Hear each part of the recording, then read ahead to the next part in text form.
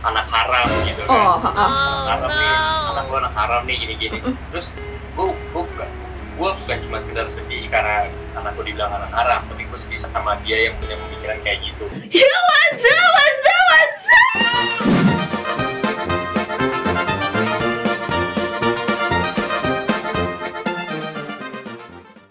Yo what's up, what's up, what's up? Momen-momen mager. Ketemu lagi. Yo bersama Tante Ismi Tante Ismi yang alay dan lebay betita Oke, di kesempatan kali ini Tante mau buka segmen VCS Lur Santai Slur VCS Mantap. Oke, jadi ini ada bintang tamu guys. Yang di mana ini bintang tamu ini viral banget di dunia pertiktokan. Aku karena tahu banget dia di TikTok, jadi aku cari-cari kontaknya dan alhamdulillah dapet.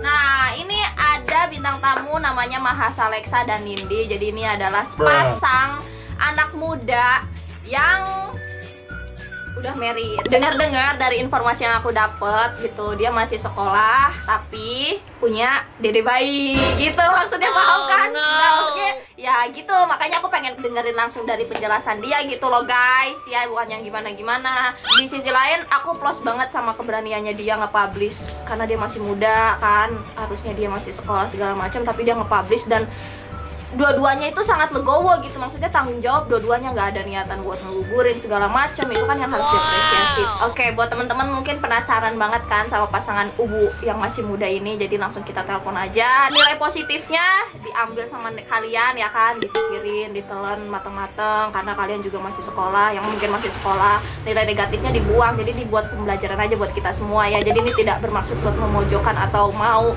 memikirkan atau pengen mencuci otak kalian buat ngelakuin hal yang sama enggak. Karena ini lebih ke sharing aja dan semoga banyak nilai positifnya yang kita ambil. Langsung aja kita hubungin Kama Haisa dan Kanindinya. Let's go! Kita mulai video call pasangan muda TikTok yang uwu parah let's go! Oke, sudah berdering rupanya Bung. Hmm, belum dipangkat. Halo, Kamahaisa dan Kanindi. Ih, pasangan ubu banget lah. Aku manggilnya kakak apa siapa? Kalian udah pernah kenal aku nggak sih sebelumnya? tahu aja sih Tahu ya, tahu aja. Tahu aja. Oke, aku juga sering banget. Panggilnya siapa nih tante? Iyalah tante, kan aku emang tante-tante. Oke, guys di sini ada Mahesa ya panggilnya ya Mahesa. Mahasa Mahasa Mahasa dan Nindi. Jadi ini ya jadi Mahasa dan Nindi ini adalah pasangan teruwu di TikTok ya. Pupa dan Muma kalau dalam bahasa itu mah ya. Keren banget loh kalian. Apa kabar kalian semua Nindi dan Baik. baik. Gimana keadaan sekarang nih? Udah mau ini ya katanya ya. oh udah gede banget perut iya. Katanya satu bulan lagi. Eh, kurang lebih sih segitu. Iya sih, Cuman kurang nggak lebih. tahu udah, udah ini eh, tanggal 4 Agustus hari kelahirannya Oh Tapi gitu. diprediksi mungkin 4-3 minggu lagi lah Oke, oke, oke. Jadi guys, ini aku eh, nemuin mereka ini di TikTok. Terus abis itu aku berlanjut ke Instagram. Aku berlanjut ke YouTube kalian loh. Aku kepoin kalian loh parah, keren parah. Ya? Iya, parah. Pokoknya nanti kalau anaknya lahir aku jadi fans berat anak kalian sih parah. Siap, siap, siap. Kalian nih kan eh, terkenal di TikTok kan. Ya. Aku pengen tahu aja nih awal mula kalian ketemu, terus jadilah kalian pasangan ya kan? Pacaran coba tolong diceritain kita kepo semua nih. Kita tuh pertama kali kenal di Bali Itu eh, tahun baruan 2019 Wow. Gitu. Nah posisinya dulu tuh eh, Aku lagi jalan-jalan aja. Iya, sama temannya dia. Nah temannya dia itu cewek-cewek anakku dulu. Wow ya ya terus Iya, dan akhirnya eh, kita cuma sekedar kenal aja kan 2019 itu Mm-mm. dan akhirnya uh, di waktu aku udah udahan sama temennya dia itu sama cewek-cewek aku beberapa bulan kemudian aku lanjut ke dia Hmm. dan akhirnya kita kenal itu kita deket bulan apa Bulan Juli ya Cetan tuh. Juni akhir lah Ah, Juni ah, akhir ah. kita udah chatan kita chatan Juni akhir habis itu dia liburan lagi ke Bali Ah, kan ah. dia di, di Tangerang Tangerang, dia liburan lagi ke Bali Uh-uh. posisinya aku nyusul gitu nyusulin dia kayak ngejar dia gitu. Siap, siap, siap, siap, siap. terus terus terus terus terus terus uh, posisinya kita di situ udah benar dekat banget dan uh, dia pulang ke Jakarta uh, kita stay di Bali karena emang aku uh, mama aku ada rumah di Bali kan Ah, ah, ah. dan akhirnya ya udah akhirnya kita di situ putusin buat uh, pacaran Wow, garcep ya, garcep ya. Tapi lo keren, keren, keren banget sih liburan pada ke Bali. Ya lo, lo ke Bali liburan doang niatnya, nggak ada kayak ketemu keluarga gitu berarti. Enggak kan di sana ada keluarga kalau Nindi kan Kalau memang dia kan- liburan Aku liburan aja. Gila. Nindi kayaknya anak Hokai banget ya. Iya kan? Bolak-balik balik kayak nggak pernah mikir gitu. Terus lo, Eksa, lo sama pak temennya Nindi dulu kan pacaran, ya kan? Iya Terus gimana temennya Nindi? Lo pelakor lo Nindi lo. Oh, no. Enggak, enggak, enggak, enggak. Untungnya itu uh, si, pacaran, iya. pacaran. Jadi nggak pacaran, kita cuma kayak bunga tanpa status. Ah Iya, gitu. Tapi kan kalau temen biasanya ada rasa-rasa nggak enak kali kan bekas temen lo nih si cowoknya. Kan ada jeda beberapa lama dulu. Oh, iya. Ya jeda jeda jeda empat bulanan lah. Oh gitu. Tapi berarti sama temen lo yang mantannya itu sekarang komunikasi tetap lanjut. Lancar, baik banget dan kebetulan dia juga udah mau nikah kan. Oh gitu. Pantes. Iya iya iya ya. Terus selama kalian pacaran ada hal-hal yang menarik nggak sih? Cerita-cerita gitu. Kita nggak ada hal pastinya sih. Ehm, seminggu sekali itu biasanya kita ketemu dan kita tuh sama-sama bukan introvert ya, tapi kita tuh sama-sama tertutup. Kita nggak terlalu Hmm. berada di tempat yang terbuka banget gitu. Ya jadi kita kalau ketemu seminggu sekali dan itu juga berdua doang gitu. Kenapa ini kan bisa ambil? Oh no. Ya gitu lah pokoknya. Gak tahu sih itu menarik apa enggak, tapi ya kebiasaan kita, dulu gitu. Tapi Nin si Eksa ini so sweet nggak sih orangnya? Kalau sweet nggak pernah kasar dong. Oh, idaman banget si Eksa nih ya, bener-bener lu ya. Nin, ini si Eksa aku liatin terus dari tadi manis gitu kan, gagah. Gimana nih kalau gombat nih? Jangan ketangkap siapa nih ntar nih. Canda ya Nin. Iya. Terus kamu kan di TikTok juga terkenalnya juga gara-gara kamu tuh open gitu sama keadaan kamu sekarang ya kan? Ya. Nindi open, terus Eksa Pupa Muma lah, Pupa Muma ini open banget. Terus gimana nih eh, tanggapan netizen dari netizen netizen kalian? Tapi aku lihat kebanyakan yang positif kan? Kalau aku lihat di setiap platform ya, Uh-uh. dari mulai dari Instagram, dari YouTube dan TikTok yang pasti ya kan karena memang berasal dari TikTok dong kita berawalnya. Kalau misalkan dilihat sih stat- statistiknya sih mungkin eh, 20% tuh lebih ke negatif ya. Orang-orangnya mungkin lebih mikirnya yang ke hal-hal yang jeleknya gitu kan. Sedangkan yang 80 ini mungkin mereka lebih mendukung gitu. Hmm. Kasih dukungan emo- emosional, motivasi gitu-gitu aja sih. Hmm, tapi boleh kali diceritain sedikit. Boleh. Uh-uh. Kemarin sempet kepukul sih ya eh, baca-baca komentar yang kayak anak haram gitu Oh, kan uh-uh. anak haram nih anak lu anak haram nih gini-gini.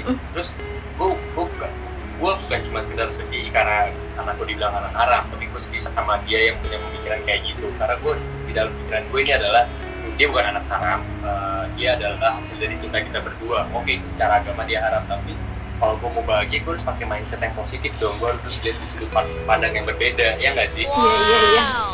bener Bener, bener, kalau gue ikutin kata haram ya udah gue sedih aja terus gitu dan gue coba buat ubah Oh. oh. pikiran mereka Tapi lu ngerasa sekarang lebih bahagia ya daripada dulu ya? oh iya pak pas tiap pagi punya anak kan gitu Iya iya iya. Kalau kalau boleh tahu ini debaynya cewek apa cowok? Cowok sih gua ngeliat. oh? Oh iya orang mau langsung dijadiin boy sama lo kan? Bener-bener emang bokapnya parah tapi keren keren keren. Gimana eh, kalau orang tua? oh kalau orang tua Orang tua aku sih baik-baik aja. iya kebetulan uh, dari sisinya pihak Nindi dan pihak aku juga sama-sama tahu dan sama-sama bisa nerima semua gitu kan yang mungkin Wow. lihat ke depannya aja gimana Hmm. gitu ya mungkin pas awal-awal sih emang uh, dua pihak kita emang sempat sama-sama terpukul gitu kan Oh. dengan adanya kabar kayak gini tapi ya mau gimana gitu kan udah nggak bisa dicegah tinggal diperbaikin dan akhirnya mereka oh, ya sekarang ya udah masih aja lah oke gitu.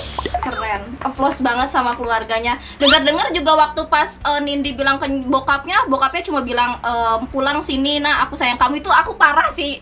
Parah sih aku ah gila keren banget bokap lo. orang tua kayak gitu Benar tahu kabar anaknya kayak gitu terus responnya kayak gitu kan jarang banget dan gue nggak pernah tahu kalau ada ternyata ya dialamin sama istri gue udah ini. Bukan main loh. Salam ya buat bokap nyokap ya semuanya ya. Ya, ya. Mm-mm. kalau aku boleh tahu kalian sekarang tinggal di mana nih? Di kebetulan di rumahnya Niki. Di rumah aku. karena gue berasal dari keluarga yang berhome kalau sampai sini tahu nih ya kan keluarga gue dari home. Dan kalau Nindi ikut gue itu eh, suasana dan kondisinya nggak kondusif nggak baik buat keadaan Nindi yang sekarang. Dan eh, keluarga memutuskan untuk Nindi di stay di rumahnya dan gue yang ikut sama Nindi Iya iya iya. Tapi gua ngeliat emang di vlog lo emang bahagia banget sih dari lo ke puncak, ya kan? Ke puncak kan kemarin honeymoon, wih gila bahasanya honeymoon.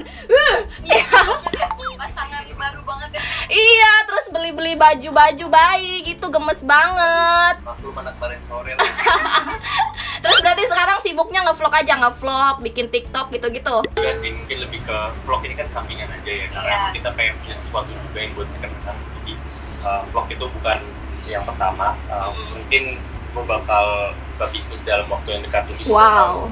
Usaha produksi Iya iya iya. iya. Jadi emang lu berarti Pupa, lu berarti nextnya lu bakal bikin usaha gitu ya untuk keluarga-keluarga lu Iya. ini nanti. Boleh bocorin dong apa usahanya?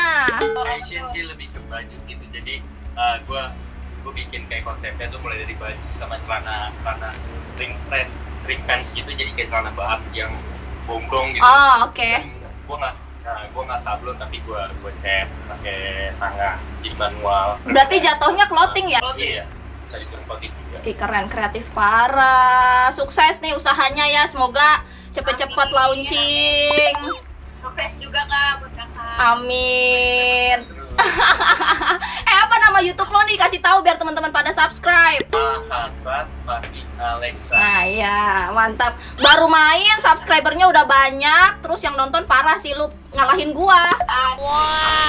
Subscriber gue cuma 39 ribu Tapi yang nonton coy banyak terus woi. iya Iya. Alhamdulillah eh, Oke oke terakhir nih, aku pengen nanya, ini kalian kan udah mau persalinan ya? Kira-kira persiapan apa aja nih yang bakal kalian siapin? kita sih sejauh ini kita udah ada baby box Iya. kayak buat bayi Yang kebutuhan bayi sih udah Mm. ada. Iya, tinggal tapi so yang buat mandi belum Iya. yang buat mandi kita belum beli dan belum sempat juga peran kita satu lagi itu dot yang dot apa sih dot yang buat Peng. Oh iya iya iya. Tapi Nindi lu udah ya, udah ini udah siap mental buat ngelahirin? Kalau ditanya siap nggak siap ya siap dah. Siap. Ta- tapi deg-degan mah ada lah ya. Apalagi lo kan ini baru pertama kali, masih muda. Nah, Emang umur umur lo pada berapa sih kalau boleh tahu? Oh, kalau gua sih masih 16 16. tapi Agustus udah 17 17. KTP aja belum ada lo ya.